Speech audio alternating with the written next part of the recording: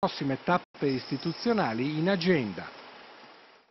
I lombardi vanno sempre più al ristorante. Secondo il rapporto di Confcommercio, nella nostra regione si spendono oltre 14 miliardi di euro l'anno per pasti fuori casa. Ciò nonostante chiudono molti locali.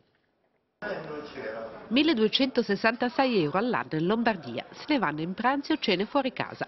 Lo rileva il rapporto ristorazione di FIPE Confcommercio, in cui si sottolinea in particolare come i pranzi, ristoranti, bar e trattorie rappresentino ormai il 35% dei consumi alimentari delle famiglie.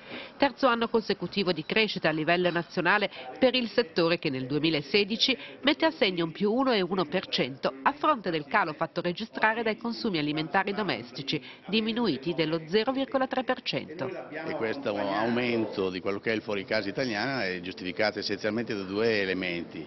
Il primo è un fatto culturale, l'italiano che ama gli aspetti della convivialità, dello stare insieme, per cui ricerca queste formule di, stare, di aggregazione e l'altro è la qualità del modello del pubblico esercizio italiano. Ma nonostante il forte afflusso, un ristorante su due chiude. Colpa, dice il presidente della FIPE, dell'eccessiva improvvisazione di molti imprenditori, un fattore che rischia di minare la qualità della ristorazione made in Italy. Questo uno dei motivi che ha spinto la Federazione degli esercenti pubblici a lanciare una business school. L'obiettivo è quello di portare informazione e formazione ai, agli esercenti, quindi ai pubblici esercizi che fanno parte del, del, del mondo di, della federazione. Oltre 14 miliardi il valore dei consumi fuori casa generati in Lombardia lo scorso anno. Le imprese del settore sono 50.000, 150.000 gli addetti.